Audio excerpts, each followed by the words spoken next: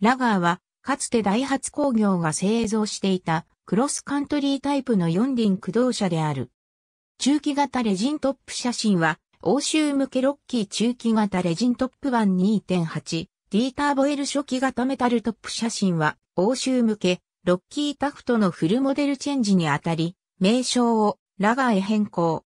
タフト同様、ラダーフレームに四輪、リーフスプリングとリジットアクスル足回りを持つ本格四輪、駆動車であるが、ボディサイズを一回り大きくし、スタイルも洗練されたものに変更され、より乗用車らしくなった。ボディはタフトと同じ2ドアの幌タイプ、バンタイプのメタルトップ、FRP 製ハードトップを持つレジントップの3タイプであるが、レジントップのみ、ホイールベースが長い。燃料給油口は、ロッキーと同様、右側にある。タフト同様、当時業務提携を結んでいた、トヨタ自動車へ、ブリザードの名で OEM 供給された。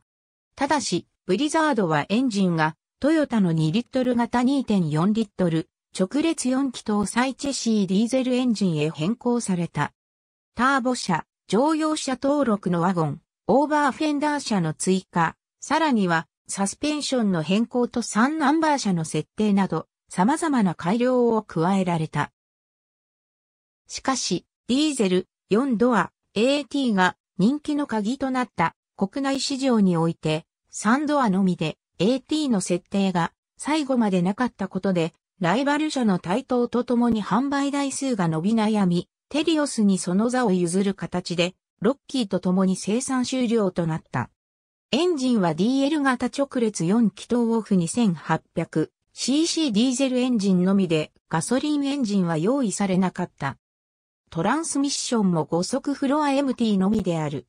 ブレーキに関してはフロントにソリッドディスクローター式のディスクブレーキが、リアにリーディングトレーリング式のドラムブレーキがそれぞれ用いられた。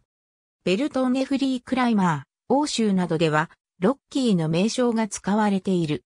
また、アジア市場では、タフトの名が使われており、ロングホイールベースのピックアップや、そのキャブシャーシを利用したコーチビルダー製の4ドアワゴンがラインナップされている。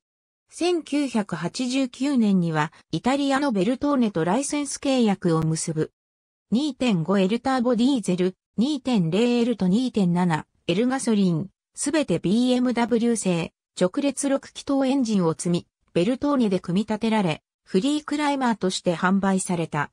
ターボディーゼルは少数ながら、日本へも正規輸入され、販売された。